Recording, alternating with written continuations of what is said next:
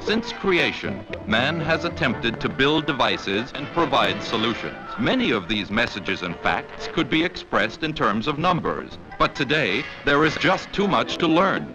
Too much for the manual writing of the never-ending numbers, and thus electronics was called to the rescue. So was born the computer. Way back in about 1300 BC, humans invented the abacus as a tool to do calculations that were too big to do in your head. Fast forward 3,245 years to 1945. The ENIAC was invented, the first electronic general purpose digital computer. 20 years after that, in 1975, IBM unveiled the 5100, one of the first sort of portable computers. Then Apple showed off their version of a computer with a mouse and a graphics interface, and Bill Gates took that photo that he will never live down. The modern day was looking bright. All these machines, for their time, were modern marvels. And we were just beginning to understand the possibility of electronic machines. And then we arrive in the modern day. 75 years after the ENIAC. It's a long time. So, what is considered a modern PC in the year 2020? Well, first of all, you better expect it to be fast. Once upon a time, memory used to take up literally an entire room.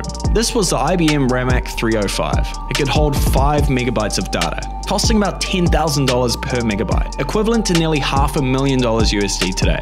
Now, in the thickness of a screen alone, we're able to house more memory than was even conceivable in the 50s. Solid state and M.2 drives are not only tiny, but fast. Rather than using mechanical arms, plates, and moving parts, SSDs store data in microchips, making the speed in which you can access different sections of data nearly instant. Not only that, but processors and RAM have become far more powerful. With the push of a button, your Windows modern computer will boot in a few seconds. But also, software is faster. Web pages load more quickly, Navigating your files is instant. The computer is now fast enough to keep up with our ideas, rather than having to work to the speed and limitations of the tool. Another great advancement is in the size. Rather than a warehouse full of patching wires, we now have impressively thin and light machines, basically the size of a pad of paper.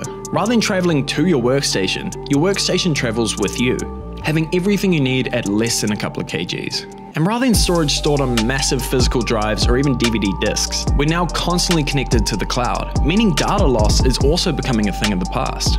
Even if your machine was to go up in flames, your gigs and gigs of data is safe and waiting for you when you get your machine back. You can also expect it to be secure. Security used to mean, I don't know, a padlock, I guess.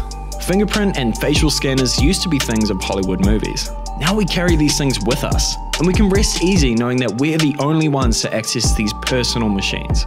But also, the operating system itself is far more secure. Security is simplified, built in, comprehensive, and most importantly, ongoing when Windows 10 is at the heart of your computer, keeping your data safe as we digitize more parts of our everyday life.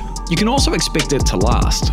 While durability has increased, the amount of bang for your buck these days has also improved greatly. The years of research and development to get this supercomputer into the form factor of a pad of paper will cost a fraction of what it used to, while providing you with massive enhancements to computing power. And a lot of this has to do with less moving parts, meaning less can go wrong, all while components are using less power. And this is why we've had such amazing advancements in battery life. These days, something only a few millimeters thick can give you an average 7 plus hours of video playback. In other words, this space is the best investment it's ever been. Everything works together. Being more organized has never been so simple.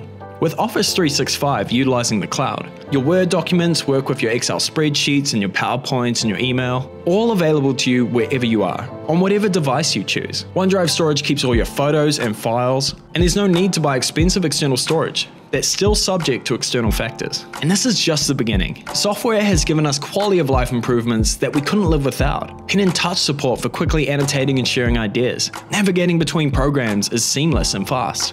We can even talk to our machines something we've dreamed about for decades.